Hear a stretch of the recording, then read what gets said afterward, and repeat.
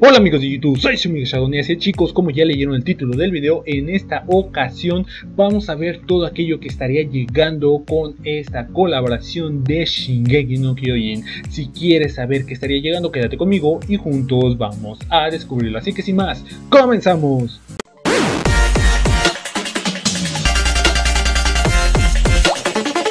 Y bueno chicos, comenzamos el video. En esta ocasión vamos a ver todas aquellas cosas que estarían llegando con esta colaboración de este famosísimo anime Shingeki no Kyojin o Ataque de Titanes. Chicos, déjenme en la caja de comentarios si ustedes ya lo vieron o en su defecto les gustaría que hiciera un resumen de lo que trata este anime. Y bueno chicos, comenzamos con lo que sería el primer skin, que sería este rostro, ¿vale chicos? Que es un titán que prácticamente en ese anime un titán es un humanoide gigante, que por cierto es, es como un monstruo, ¿vale? Este sería un skin de un titán bastante icónico, no esencial en la trama, pero sí icónico. De aquí pues tenemos otro chicos que es bastante icónico, nada esencial en la trama, pero me imagino que lo ponen por este hecho de que es algo icónico en lo que sería el anime. De ahí chicos también tenemos esta máscara, vamos a llamarla esta cabeza de este titán, que este sí es importante la trama, sería el titán acorazado que le pertenece al personaje de Reiner. Y bueno chicos, eh, dentro de los titanes hay como aproximadamente nueve que son diferentes, ¿vale? Este es uno de ellos. Y este pues sería la cabeza del titán de ataque que prácticamente le pertenece al protagonista de ese anime anime Eren. De ahí chicos, pues también estaría llegando un paquete en esta ocasión, pues sería el titán acorazado. Y bueno chicos, déjenme en la caja de comentarios qué les parece este skin.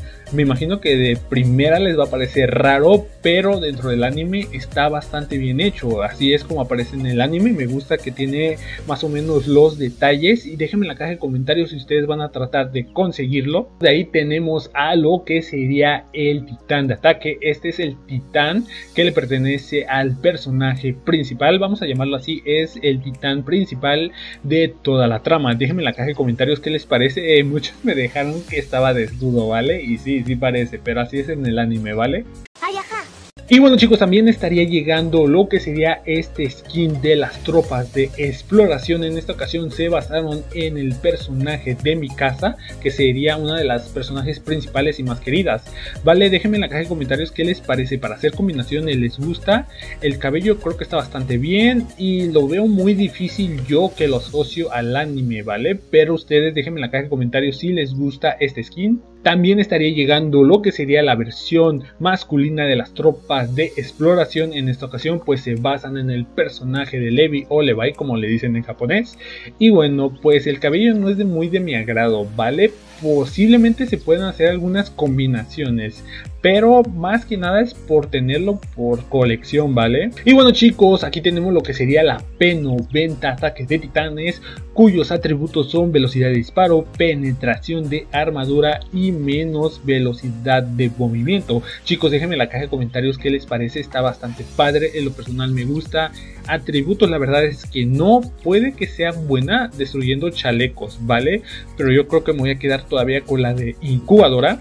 Y chicos, posiblemente esta sea la skin de la M1014 más potente que estaría llegando a nuestra región. Doble daño, más penetración de armadura y menos velocidad de recarga. En términos de fuerza, de daño, yo creo que te va a quemar el chaleco o el casco súper rapidísimo, ¿vale? Con esos atributos se parece a la amarilla de incubadora, sin embargo esta pues ya tiene lo que sería penetración de armadura, que le añade más daño. Chicos, déjenme en la caja de comentarios qué les parece, esta va a ser la top y me imagino que va a ser la más difícil de conseguir.